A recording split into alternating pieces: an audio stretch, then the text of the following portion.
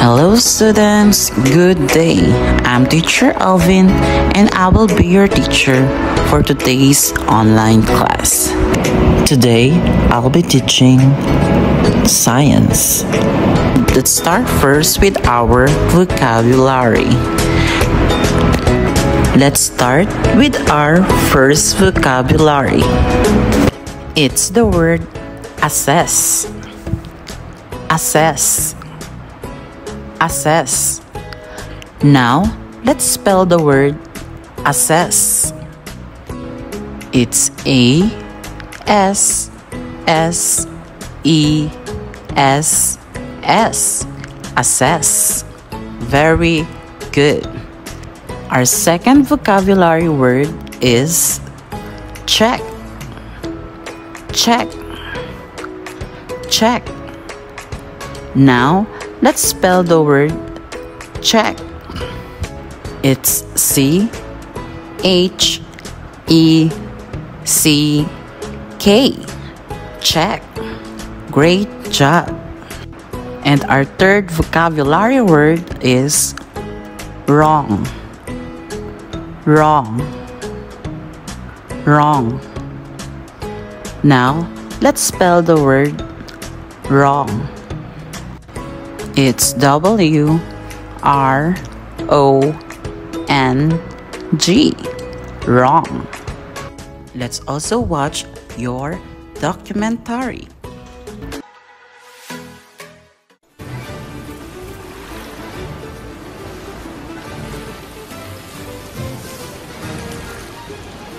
Beautiful Birds Part 1 1. Macaw.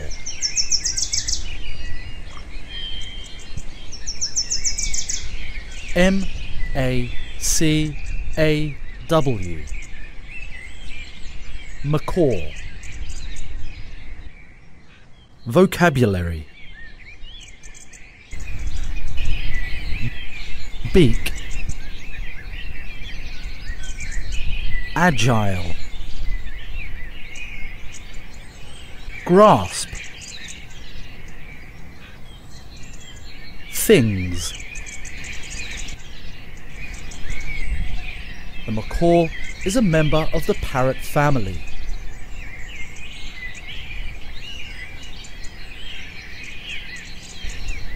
It has a large strong curved beak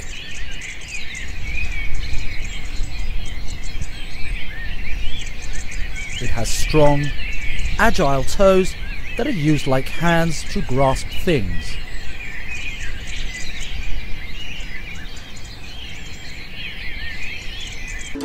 Now, let's proceed to our review for us to recall our topics.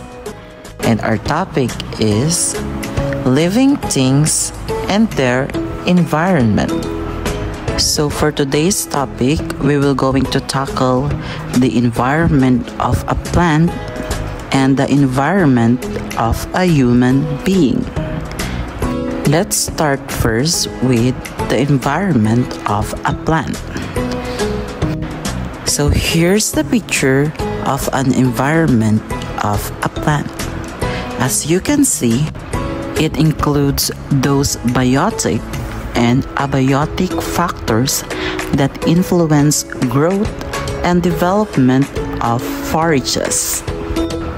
But what is biotic and abiotic factors?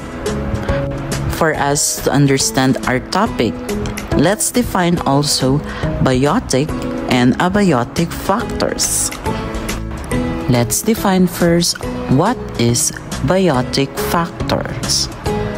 A biotic factor is any living things that has an effect on an ecosystem. Again, a biotic factor is any living thing that has an effect on an ecosystem.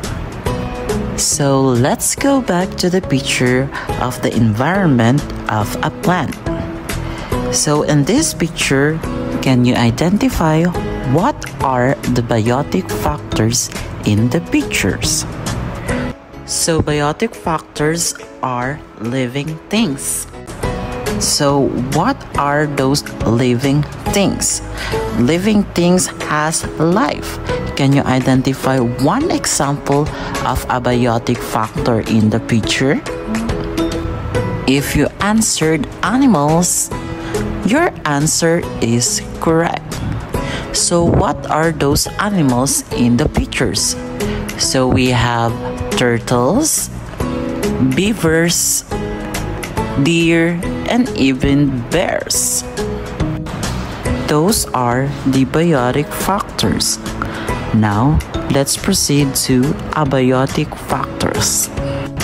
Abiotic factors are a non-living condition or thing as climate or habitat that influences or affects an ecosystem and the organisms in it. So let's go back to the picture of the environment of a plant. So what are the abiotic factors in this picture? Abiotic factors are non-living things or climate. Can you give one example of abiotic factors in this picture? If you answered water, your answer is correct. The other examples of abiotic factors are we have your sunlight, soil, temperature, and even rocks like minerals. Now, let's discuss also the environment of a human being. So here's the picture of the environment of a human being. Let's identify also what are the biotics and abiotics in human environment. Let's start with biotics. What are the biotic factors here in the picture? Biotic factors are living things. Can you give an example? If you answered birds, you are correct. Because birds are animals and animals are living things. Next, let's identify abiotic factors here in the picture. Can you give an example of an abiotic factors here in our picture, remember that abiotic factor is a non-living things. If your answer is the car, your answer is correct because car is a non-living thing. We also have other examples like rainbows clouds, bicycles, mountains, the sky, and even the house. Those are abiotic factors because they are non-living things. Our topic for today is light can change the way plants grow. Do you know where the plants get their light from? Do you have any idea where do plants get their light from? If your answer is from the sun, your answer is correct because the sun is the one that produces heat and light to the earth. And that heat and light from the sun is very important to all of the living things, especially to the plants, because plants need sunlight to produce their own food. And what we call this process again? Do you still remember? Yes, it is photosynthesis. They collect sunlight, water, and air to make their own food. Because without sun, no one will going to produce heat and light. And most of the living things will going to die. Just like plants. Plants need sunlight to make their own food.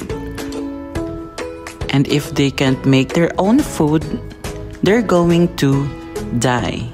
So sunlight is very important to all of the living things. For let's wrap up our topic for today. Question number 1. Why sunlight is important to plants? Sunlight is essential to plants because they use sunlight in making their own food. Question number 2. What will going to happen if plants don't have sunlight? The plants were going to die if the plants don't have sunlight. Question number 3. Where do plants get the sunlight? Plants get their sunlight from the sun because sun produce heat and light. And our topic for today is the benefits of plants and animals. People and animals need plants because if there is no plants, people and animals will die. People and animals need plants for food.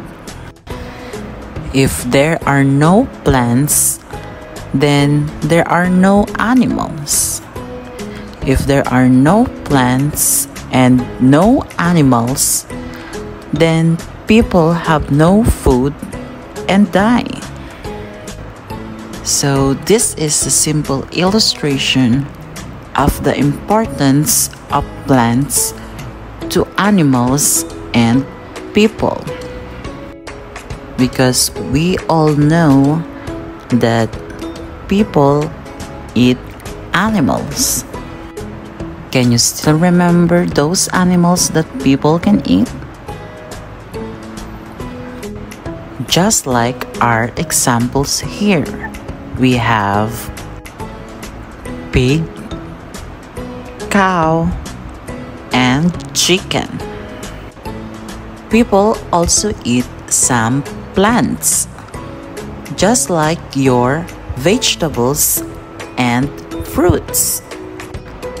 And animals also eat some plants like grass, bushes, even fruits and vegetables. Plants give us oxygen because plants inhale carbon dioxide and exhale oxygen. While people and animals inhale oxygen and exhale carbon dioxide.